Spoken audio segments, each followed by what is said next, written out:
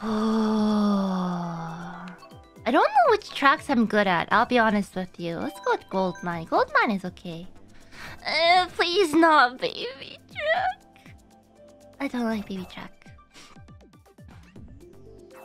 I don't know why people like that so much. Like, do they really want to rely on RNG that much? I don't.